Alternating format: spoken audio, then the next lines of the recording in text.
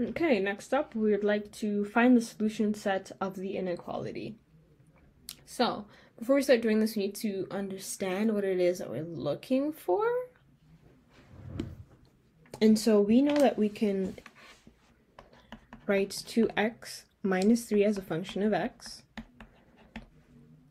And what this question is asking for is when is 2x minus 3, so my function, less than 7? And so if I just quickly go to Desmos, cancel my previous ones, 2x minus 3. When is the output? So when is my y value here less than 7?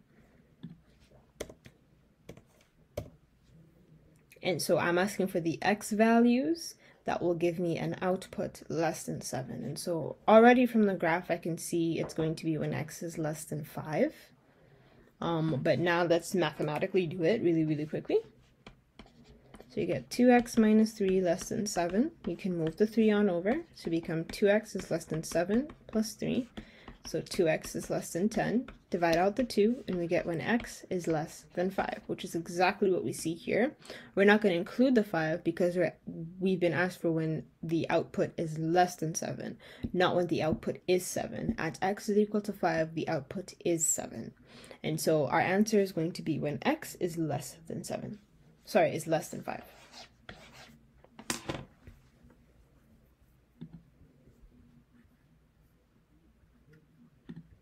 And so the solution set is going to be all values of x that are less than 5.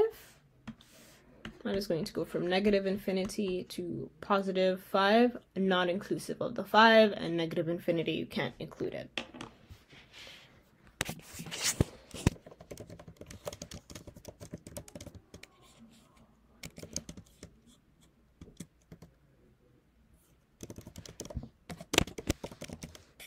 So apart from understanding like what the question is asking for, um, a really good way to ensure that like you fully understood the question is what um, applications in the real world would you have for a question like this? And a really great one is like, let's say you have a function that tells you um, the downward force of an elevator um, as a function of the number of people on the elevator. And so let's say that's like whatever a function of um, x.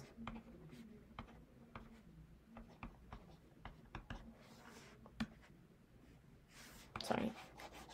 So like just as an example, let's say each person weighs, sorry, um, you have x people and you have each person weighing um